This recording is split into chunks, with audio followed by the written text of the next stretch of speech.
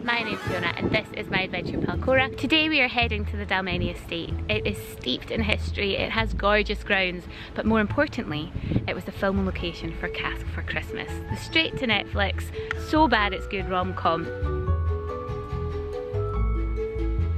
Film sees successful author Brooke Shields fall in love with a laird. He has a cold exterior, but a heart of gold and a very questionable Scottish accent.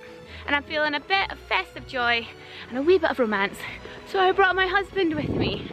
I'm sure I smell Oscars. Part of the deal of being able to take your dog on Dalmeny Estate is you have to keep them on a lead. This is because it's a working farm, there are areas where there's wildlife, so they ask that you keep your dog on a lead. The lead rule does not apply to the beach areas.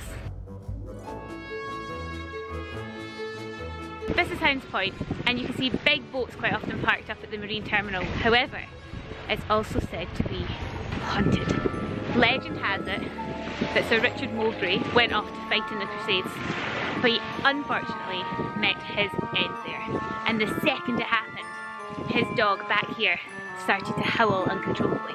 You can still hear the howls of the dog through the trees when you're on the beach. Cora does the same when I go to the shops. She's just as devoted to me.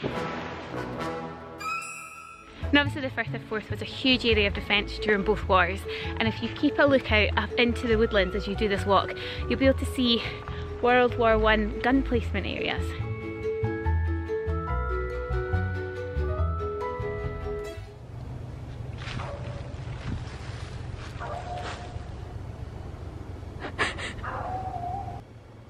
The Earls have owned estate since 1662 and it spans from West Lothian all the way down to the borders and the focal point of this route has to be Dalmeny House. It's a castle from the film! The house was built in the 19th century and has been home to the Earl ever since. It has gorgeous architecture, beautifully kept grounds, and it also has a golf course. I'll be best-selling author Brooke Shields and you be the grumpy laird. Yes, perfect and everyone, action. Great, I like it. That is us just at the end of the walk and the sun is beginning to set. This took about two hours I would say. Um, so give yourself plenty of time to do this. And I would rate this four paws out of five. It would have been five, but I quite like taking the dog off the lead and letting her run about. So we're just gonna go and head and get a bite to eat and a well-deserved post-walk pint.